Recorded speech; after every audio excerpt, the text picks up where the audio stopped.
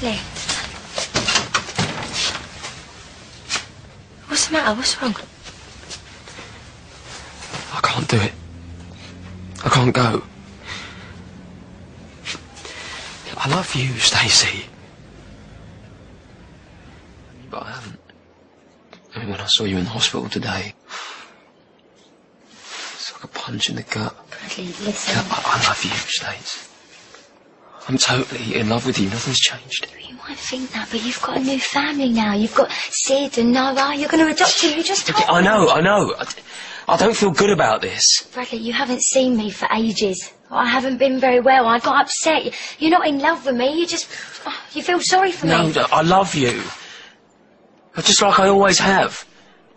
And I want to be with you just like I always have. More. I'm stronger now, Stace. I'm stronger. I'm a different person. Bradley, once you're in that cab and on the way to the airport, you'll forget about me. No. You've been there two months. Yeah, and there hasn't been a day that's gone past where I haven't thought about you. Seen you dragged away. I, I should have come back. I should have stopped the cab there and then, run back to you and stopped them taking you away. It was the right thing. I didn't know that then, but I, I do now. I mean, look at me. I'm better now, Bradley. I'm so much better. I want to help you. I want to be there for you, Stace. I love you. What if it isn't real? This love that you feel, what if it's just you missing me and us and all of this?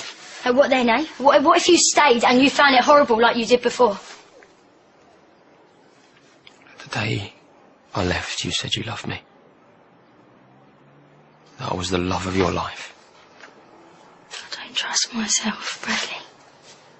I don't, do you understand? I don't, I don't trust myself. I, I don't know what I'll feel. How do you feel now? I mean, don't you love me at all?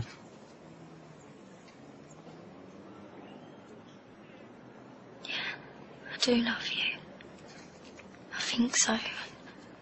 I do. I,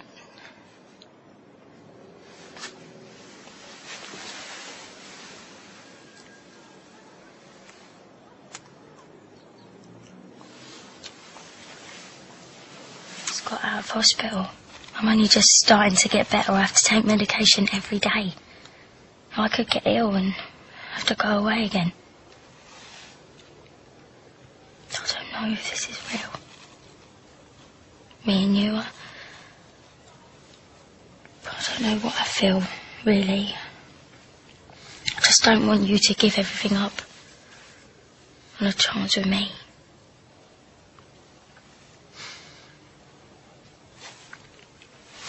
I'll go and talk to Sid. No, Bradley, wait. I can't, Stace. There's a cab coming. We're meant to be catching a plane. I think you should go. I do. I think you should go. And if you still feel the same in a week, then come back. But at least go away and think about it, Bradley. Make the right decision. No. Yes, Bradley, it's taken you too long to move on, to just throw it all away.